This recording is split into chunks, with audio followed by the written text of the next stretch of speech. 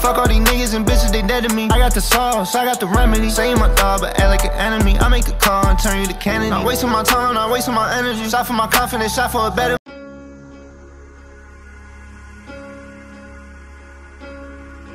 It's Sean V.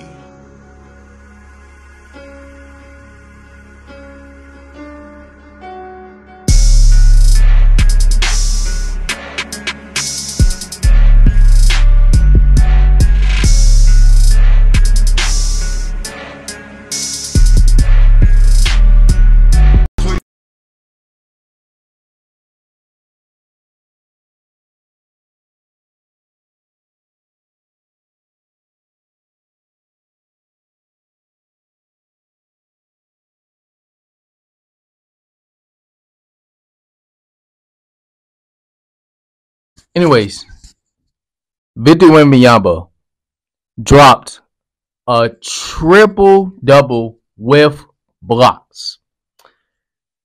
27 points, 14 rebounds, 5 assists, 10 blocks. He could have had a quadruple double, ladies and yes, it's just one game. But everybody was having these talks about Chet Holmgren being rookie of the year, Brandon Miller coming on being a rookie of the year. Ausar Thompson, Amen Thompson, like there's so many great talent in the league we have right now, but nobody, I mean this, genuinely, nobody matches up with Victor Wembanyama.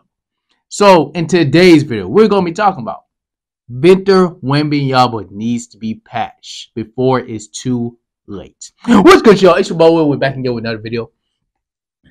Now, if y'all enjoy my content, y'all love NBA commentary. I love y'all. I want y'all to give your boy a like, subscribe to the channel if you're new, share this video with your friends and family out there. I appreciate y'all for the support. Listen, here's the problem I have with Victor Wembanyama. It's not with him. It's with San Antonio. They don't utilize him right. Am I the only one that noticed that?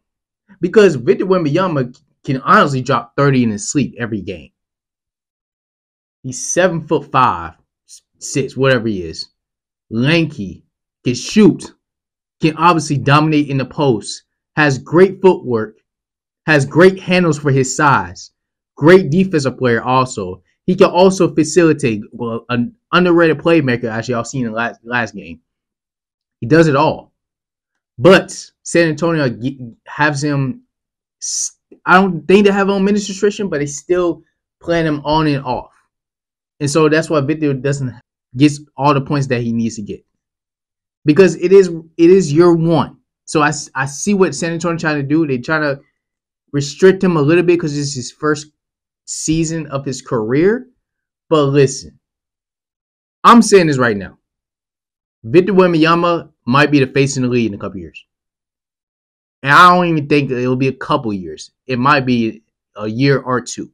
Other than Anthony Edwards, other than Luka still, maybe right now, other than Jokic, Ja Morant, Victor Wembanyama will be the face of the NBA. He putting up numbers like that. He dominated on the floor like that. He posterizing his def- his opponents like that. There's nobody can stop him. Nobody. The only player that can match up with him is really Kevin Durant. And he said Kevin Durant's the hardest player he's ever guarded so far. San Antonio, so far, right now, I'm not gonna lie, San Antonio has a bright future. Yes, they they're bad. We expected them to be bad. But San Antonio has some picks coming up this next NBA draft. Right? And they have good young players other than Victor. I like Jeremy Sochan. I really do. I think he's gonna be he's gonna be a proven player in this league. I don't know if he's going to be a star, but he's definitely going to be a proven player. Devin Vassell, streaky, but he's he's really good. He's a really good scorer. Y'all can keep him around. Tre Jones, solid for his position. He's he got to prove a little bit more on his his playmaking a little bit, but I, I like him. Listen, give San Antonio a year or two. San Antonio is going to be right there. Victor Wembanyama is going to be a reckon a force to reckon with. He's already great. I he's not even good. He's great. They did. San Antonio's not even playing right. And what I love about Victor Wembanyama, I noticed this. Against the primary players, he elevates his game. He ain't afraid of these. He ain't afraid of the moments. He wants to go against these people. He wants to form to. He wants to exceed his performance. You, you see how he did versus Kevin Durant. You see how he did against Joel Embiid, even though Joel Embiid dropped 70 points on him. But he still had 36. You see what he did against Anthony Davis.